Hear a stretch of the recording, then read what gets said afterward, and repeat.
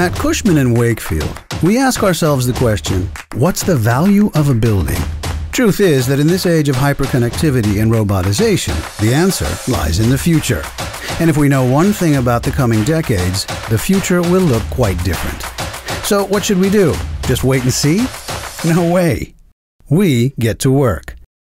When we think about the value of a building, we see life expectancy, aging population, gentrification, depopulation, urbanization.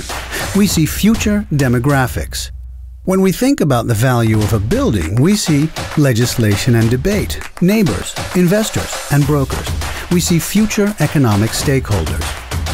When we think about the value of a building, we see traffic flows, highway plans, electric cars, transportation development.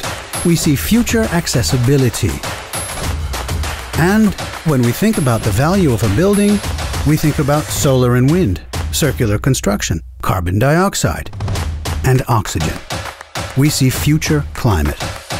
So, if you want to attract top talent in the future, be logistically efficient in the future, act as sustainably as possible, or even develop a whole region in the future.